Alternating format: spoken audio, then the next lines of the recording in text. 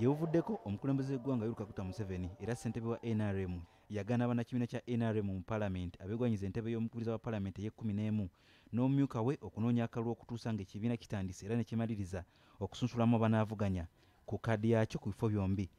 Wabula omuliro wakati wa rebeka yitwala kadaaga anoonya ekisana kye ekyokusatu ku bwa sipiika n'omumyuka we jeko bulanya gwe gwavaako okuyimiriza kakuyege ono yadde nga mu nkukutu kakuyege ono akyagenda mu maaso enkambi ya kadaaga n'olanya bwe twogerera tezitudde wadde nga olanya amaanyi ge gali mu lukiiko olufuzi olwa nrm basek so nga kadaaga okusinga abadde atalaaga mubaka ku mubaka singa binaaba biganye mu kibiina akalulu akawamu ke kanaayawula. Yadde nga bannakibiina abeegwanyisa ebifo bino tebakkiriziddwa kakuyege n'ekyankwanze mu lusirika okunoonya obululu kwagaaniddwa. Kyokka olanya yalabiddwako ng'ayogereza mubaka omu ku omu oba oliawo okumuwagira ekirala kyajje abagoberezi b'ebyobufuzi enviri ku mutwe.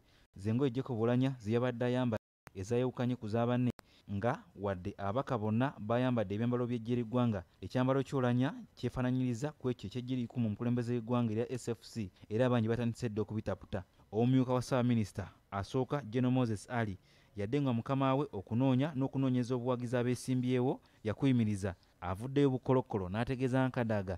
Ebirungi byakoledde uganda eno bwe bitasaana kuziikibwa mu musenyu olw'okuba waliwo abeegwanyiza ekifo kye bamale gakitwala nga byakoze tebijjukiddwa.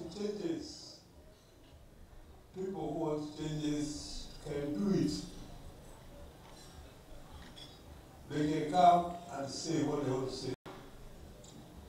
In the, in the house, having gone through election, uh, you are still having to do.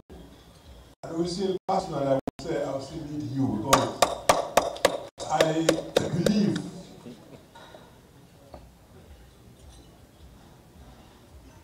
your experience.